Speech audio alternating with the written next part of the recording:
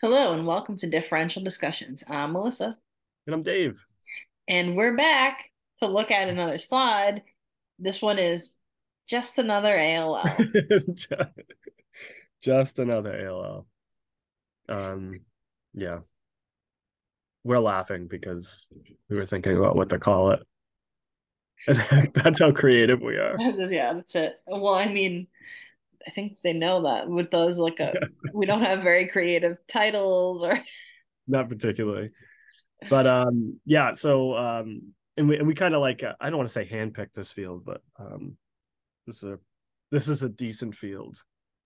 And so I would hope uh that the um user would notice that there's not a lot of red cells, first of all.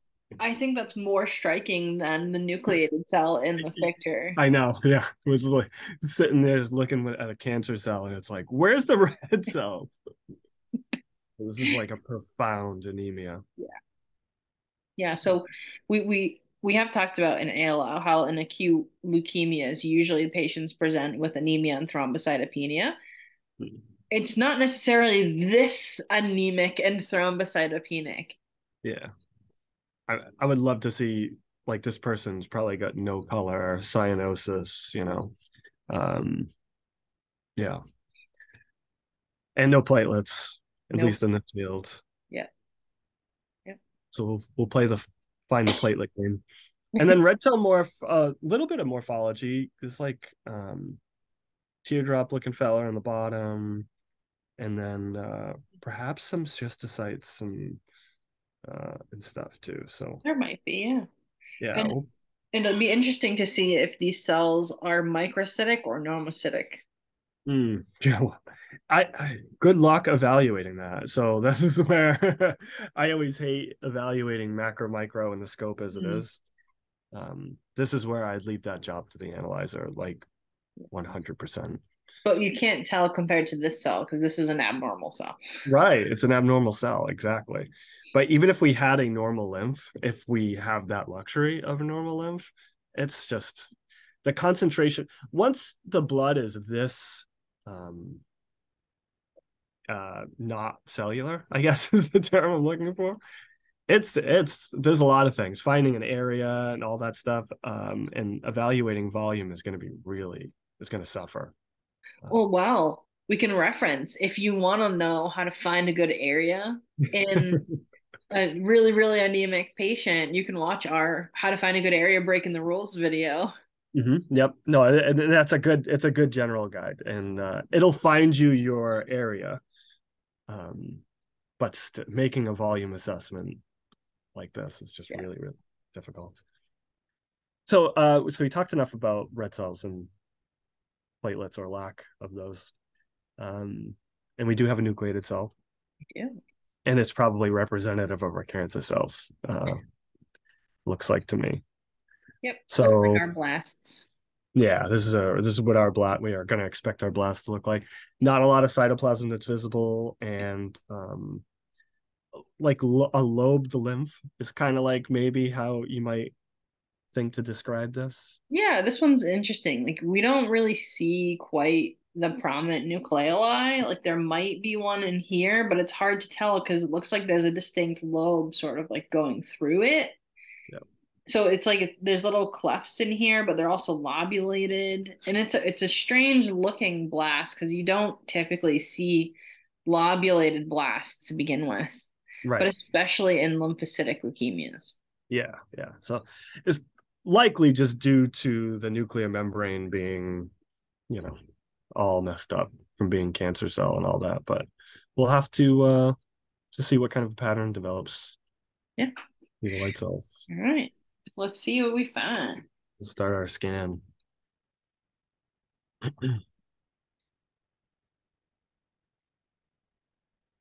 hmm. Well, hmm. is that a normal lymph? That's a normal lymph. I'm like, geez, let's see if we're lucky enough to find an lymph. So on the left hand side uh, of the screen here is just a normal resting lymph. So yeah, I, I guess you know if you forced me to make a call, I'd say it's probably a little microcytic, um, uh, maybe a lot microcytic. Uh, but you know, I would still. Def- I always give deference to the MCV from the uh, the analyzer, but um, beautiful comparison, and then we can see all the weird abnormalities in the cell on the right, um, yep. sort of consistent with the other lymphoblast we uh, we saw. Yeah, abnormal lobulation. This one has really scanty amount of cytoplasm. Yeah, good luck, right? Yeah. And there's like little like uh, like what vacuoles or something where there maybe would have been some stained cytoplasm, but there's yeah, like I think it really is just like the the the cytoplasmic membrane does cover it. It's mm-hmm. just yeah. can't really see. Yeah. So like l- look at our normal lymph, right? Not a lot of cytoplasm, but it's a normal not a lot of cytoplasm. Right. Um that is extreme. It almost looks like a smudge to be honest with you. If I didn't know better. It uh, does. It, it almost looks like it, yeah. Mm-hmm. Yeah, I blast off with that one. And I think folks are just going to have to keep in mind that when you're looking at cells like that, you just have to really look at your fine tune. Yeah, definitely. With that fine adjustment. Yeah, so I again uh blast blast. Yep. The that hole punch sort of um what is it, Hodgkins? I forget. Oh, uh the Starry Night um Yes, it's not Hodgkins. It's um Burkitt's. Oh, Burkitt's. Yeah. Thank you. I couldn't think uh, the word. Yeah. But yeah, that's but but lymphoma like uh, sort of um yeah sort of feature. But yeah. yeah. Yeah. it's not a Burkitt's. It doesn't have any of the other characteristics of Burkitt's, yeah. but yeah, that kind of hole punch through, even through the nucleus. Yeah, that's more of a, a Burkitt's sort of characteristic. Yeah, yeah, yeah, absolutely.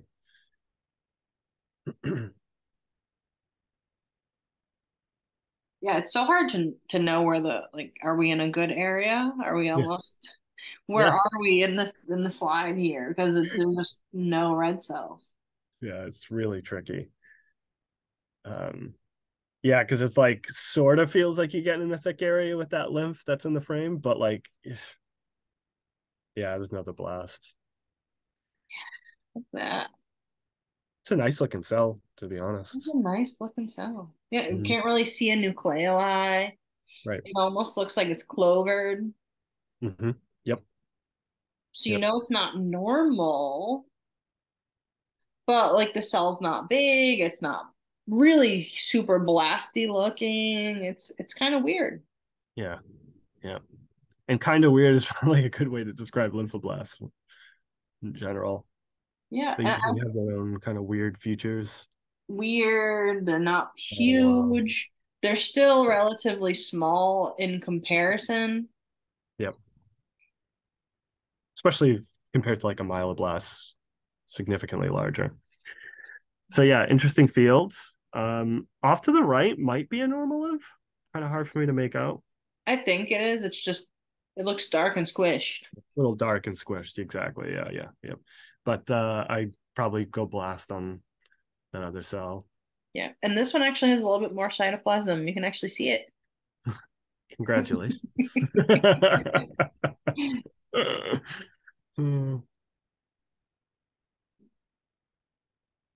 Another nice looking one. Another oh beautiful. Yeah.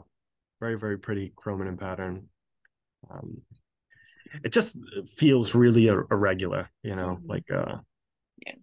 well, and I think the other thing too that when especially with students, they think they have to be able to look at everything and identify exactly what it is when they graduate. And really, if they could see this and then be able to say that's not normal and bring it to a more experienced person, that is really the key to recognize even though it's not huge it's not blasty it's still abnormal that's really the one of the most important things. Yeah it, it's a good point to make. And it kind of i think when we teach most programs mlt or mls otherwise teach up here yeah. but the competency level is usually somewhere around here. Entry level competency i guess i should be more specific. It's usually somewhere around here. Um, so hopefully we we have that little bit of wiggle room but you're right. It's really about just bringing this to the to the right people sometimes to make the hard call. Um, always be very vigilant with thrombocytopenia anemia. Um, beautiful. Nice blast. This one's nice because look at the irregular contours mm-hmm. yep. Of that nucleus. Very bumpy. Yeah. Um, we have some of these indents we've seen in other cells, and it looks like there's some nucleoli in the, in this cell that, or am I seeing things? It looks like on the. You mean like right here? Yeah, I was seeing something on the left hand side. It might be just uh might be just me. I think it's just chromatin. Hmm.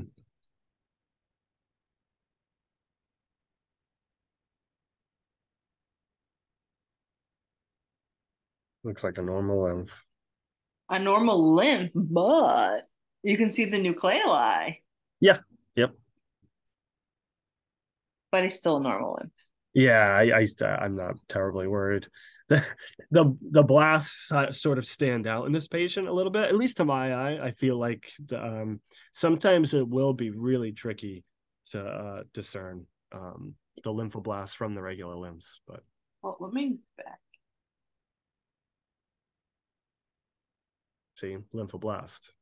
So, but you could see how someone new or inexperienced might look at that and be like lymph that's what I immediately cringed to myself inside because I acted like that this was easy and this one's like a harder call. This one is, yeah. Yeah. Mm-hmm. Um, but I think the point still stands though, and this is where I, people should. I get that a lot of your training is like you need to be careful, you can hurt someone and all that, but there's there's a lot of slack here because if you counted this as a lymph and you counted the previous what six, seven, eight percent blast, like you you did your job. Like you found the malignant cells already. Um, we get into and techs are guilty of this. I'm probably guilty of this. You get into these kind of um, I don't want to say it's semantics, but it's just like whether this is a blast or not, it doesn't actually matter all that much to the big picture as long as you've identified the other cells as blasts. Exactly. Yes. Or as abnormal. Yes. Yes. In a vacuum, this cell alone would be challenging. Yes. The other thing that people need to keep in mind is that let like the rest of the slide tell you yeah. what its peers are because yeah. just looking at the other cells tells us well this is clearly the same thing as the other cells even though it's a little bit smaller yep very true it's got that scanty cytoplasm. It's not like a big indent, but we see that little uh that little fold yeah. there. Right there. Uh, yep. So this one's subtle, but it's clear. Yes. So, yeah.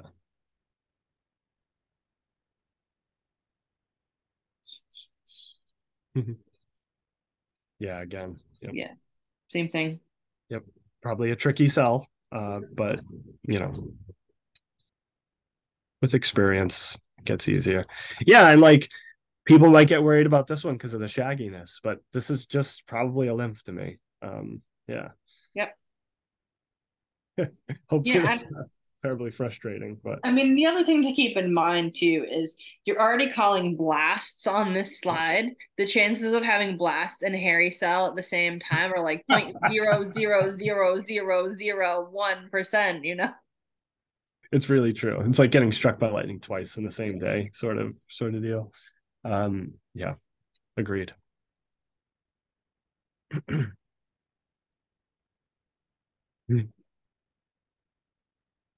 so there's a good number of normal lymphs here. Yeah, yeah, yep, yep. Yeah. And then those Yeah, it might be somewhere around 20%. There we go. Yeah. Okay. So good fields, right? And I think a lot of the scanty cytoplasm has been a big signal for us, hasn't it? Um, so it looks yeah, like all of the normal-ish looking lymphs have yeah. had a lot of cytoplasm, even if it's hairy looking or you know kind of wavy, but they've had way more cytoplasm than these guys mm-hmm. have. Mm-hmm. and then the the nuclear contour. So if your eyes, if you trace the lines around the nucleus of this normal lymph, that centerish field, with the malignant cell up in the top, you can see um, the contrast yep. between the and then for red cells, really, I I think um, maybe teardrops. Yeah, I don't, I don't, think there was enough schistocytes to call. Yeah, maybe not. But there um, definitely was a couple of schistocytes hanging around. Yes, and uh, you know, red cell morph, I don't think is going to really change much about the yeah. clinical picture. So it's just a record, but yeah. Yeah. Yeah, and platelets, I've seen a couple, but not a ton. So this is probably a very, very low platelet. Yeah. Yeah. So very anemic, very um, thrombocytopenic. which is red flags, right? That yeah. should perk up your ears and pay close attention. Yeah, and it's not so important whether there's microcytosis or macrocytosis present because the anemia that's associated with the leukemia is normochromic normocytic. So if there's a concurrent microcytic anemia, the microcytosis isn't related. Right. Exactly. Yeah. Okay. Well, just just another ALL here with a different presentation of what the lymphoblasts look like. And there's a lesson to be learned here that there's no one morphology for cancer cells generally, right? And yeah. I think lymphocytes tend to have the most kind of presentations. They do a lot of different weird stuff, but yeah. yeah. So just another ALL. well, I think that's all we have for just another ALL. So yeah. thanks for watching. Yeah, thanks for your time.